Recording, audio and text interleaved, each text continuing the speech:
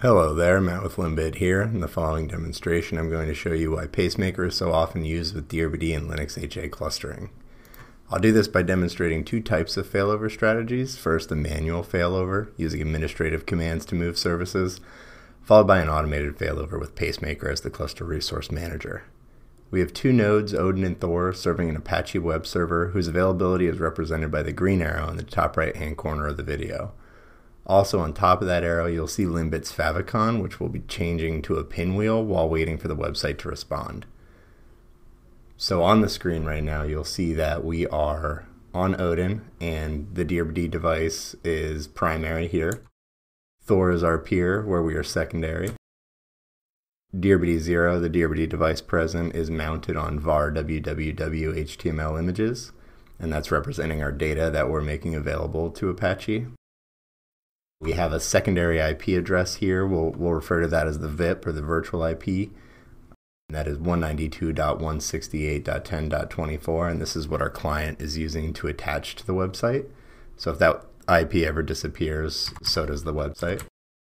And finally, we have Apache active and running on Odin. And if we flip over to Thor, We'll see DRBD is secondary, the DRBD device is unmounted, we have no secondary IP address, and Apache is of course dead.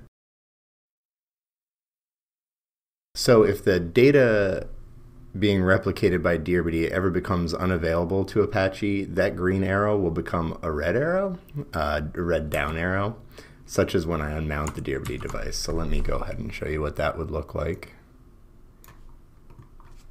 And we'll see it flip to red and then back to green when we remount. And if the website is momentarily unresponsive, uh, we'll see the pinwheel in place of the LINBIT favicon like you would if the VIP were to disappear. And I'll, I'll actually just remove the VIP and add it back in, and we'll see it go to a pinwheel. And as soon as the IP is added back in, we see the favicon reappear if the web server ever becomes completely unavailable, like Apache 2 crashing or networking issues lasting longer than the HTTP request timeout, uh, we'll see the sad web page icon and our favicon will disappear altogether.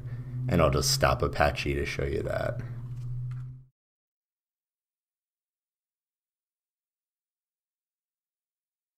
All right. So as we can see right now, everything's running smoothly. Uh, we have our green arrow and the favicon refreshes very quickly. So let's hard reset the primary and begin a manual failover process.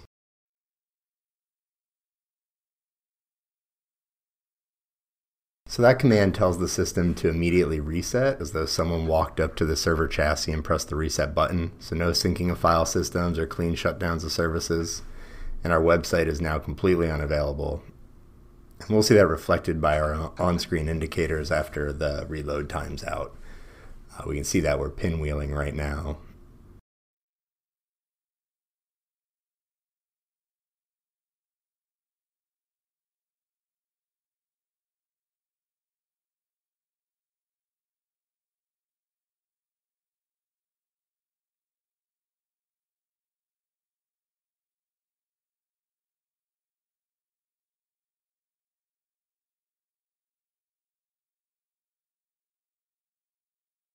Sad websites now displaying on our screen, and the favicon is always in a long refresh state. So let's go ahead and start our manual failover process.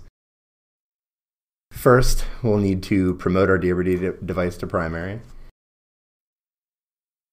then we'll need to mount that DRBD device in the correct location.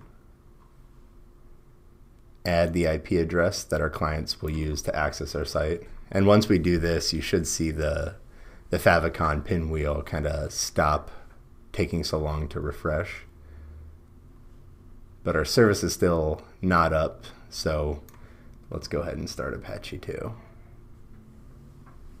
And we're back to back to green. So lucky for the admins of this site, it's a simple system, and the manual failover process was relatively painless and fairly quick.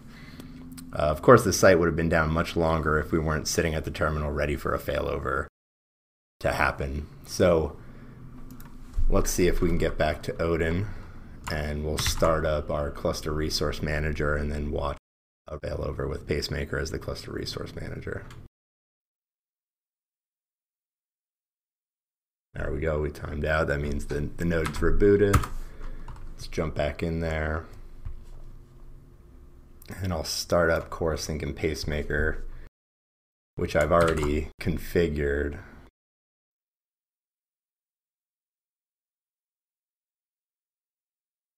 And we'll wait for our nodes to join in.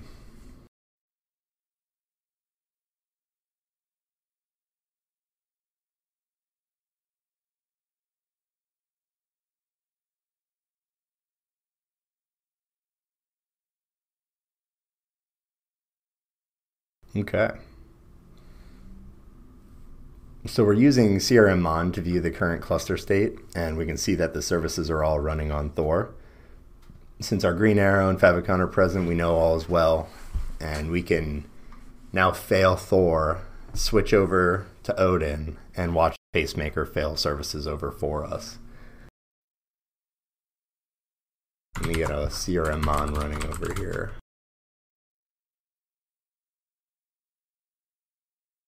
And we're going to kill Thor in the same way we killed Odin. Flip over to Odin, and we see very quickly the cluster detected that Thor went down and moved services over to Odin. And our green arrow and the favicon are, are happy. It probably just looked like a momentary network blip to our clients accessing the website. The most important thing to note is I didn't need to run any commands to get services back up and running. Nobody needs to wake up in the middle of the night, get an email, handle it in the morning. Uh, again, this is a simple cluster, five resources, but LINBIT's leverage pacemaker to manage customer clusters with hundreds of resources, which could easily take hours to fail over manually. LINBIT supports and maintains package repositories for Pacemaker across all the major Linux distributions for our customers. For more information on Pacemaker and DRBD, you can check out clusterlabs.org and linbit.com, respectively, for each software, or better yet, just reach out to LINBIT directly. You can find all our contact information at linbit.com, and that's all for now. Thanks for watching. Don't forget to like and subscribe.